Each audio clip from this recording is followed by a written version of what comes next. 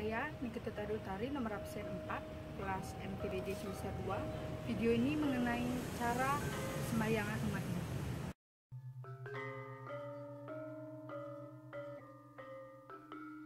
Hindu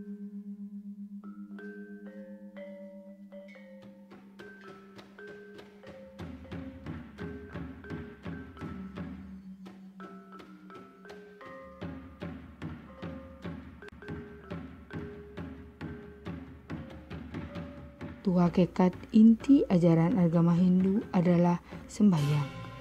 Sembahyang intinya adalah iman atau kepercayaan sehingga semua tingkah laku atau perbuatan, pikiran, dan ucapan sebagai perwujudan dalam bentuk bakti hakikatnya sumber pada unsur serada.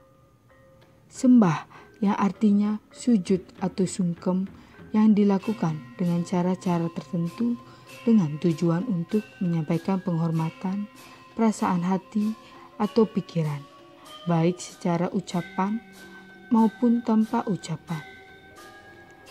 Yang artinya yang dihormati atau yang dimuliakan sebagai objek pemujaan yaitu Tuhan Yang Maha Esa yang berhak menerima penghormatan menurut kepercayaan itu. Tuhan atau ide senyawi dewasa merupakan penghargaan yang tertinggi kepada setiap umat yang mau mengabdikan diri, menyerahkan diri secara total dan melaksanakan sujud bakti kepada Tuhan. Pahala yang diterima oleh orang yang melaksanakan pemujaan secara penuh kepadanya adalah pahala yang tertinggi. Jalan bakti adalah jalan yang paling mudah dan paling umum dilaksanakan dalam masyarakat. Caranya adalah dengan melakukan pemujaan kepada Sang Yang Widi dan yakin bahwa dipuja itu ada serta merasa diri jauh dari kesempurnaan. Terdapat beberapa hal penting yang terkandung dalam aktivitas sembahyang yang dilakukan oleh umat Hindu. 1. Sembahyang sebagai suatu pernyataan bahwa umat sedharma memiliki keyakinan. 2 Sembahyang merupakan suatu penyataan dari umat bahwa dirinya menyadari akan keterbatasan dan kelemahan yang dimilikinya. 3. Sembahyang merupakan salah satu wujud dari aktivitas hidup manusia beragama. 4. Sembahyang dapat mengantarkan umat untuk mencapai kebahagiaan lahir dan batin.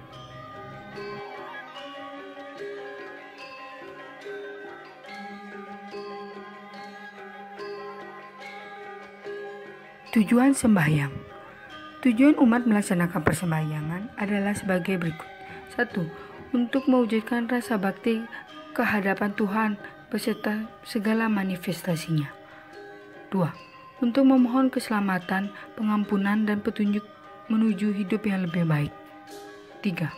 Menyerahkan diri secara bulat karena menyadari akan kelemahan dan keterbatasan.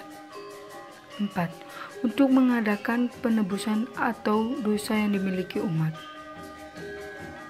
5. Untuk menyucikan diri secara lahir dan batin. 6. Untuk menyeberangkan manusia dari keadaan sekarang menuju tujuan hidup yang utama yaitu Dharma, Arta, Kama, dan Moksa. 7. Untuk mendapatkan tingkat kesucian dan rahmat dari Tuhan. 8 untuk men menolong dan menyelamatkan makhluk-makhluk lain menuju kelepasan. Adapun manfaat dari pelaksanaan sembahyang adalah 1. Dapat meningkatkan kesucian hati dan pikiran 2. Dapat menumbuhkan keikhlasan 3. Menumbuhkan rasa aman dan jiwa yang tenang 4.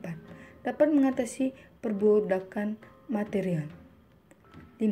Dapat menumbuhkan cinta kasih 6. Dapat melestarikan alam semesta. Dan 7. Dapat memelihara kesehatan jasmani.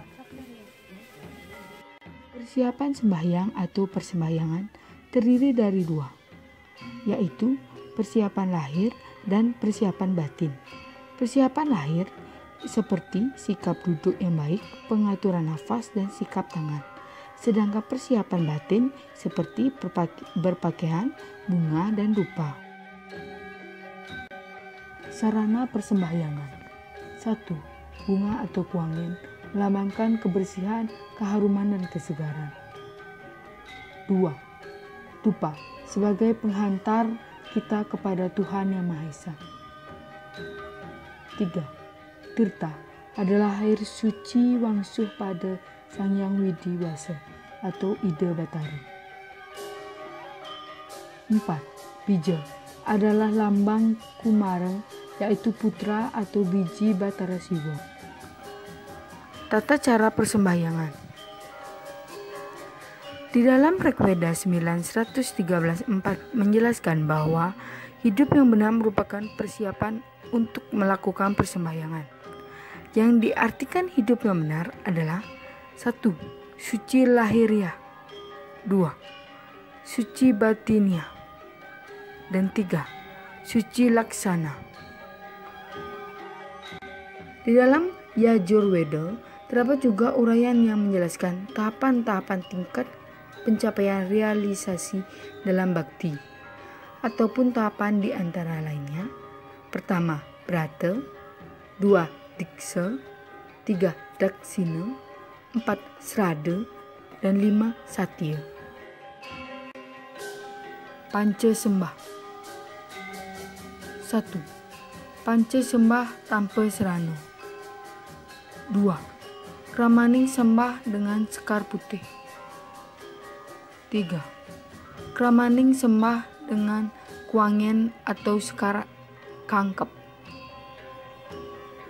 4. Kramaning sembah dengan kuangen atau sekar kangkep.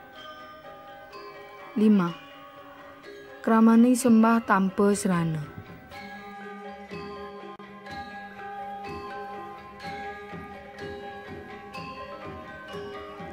Sekian video tersebut saya ucapkan terima kasih.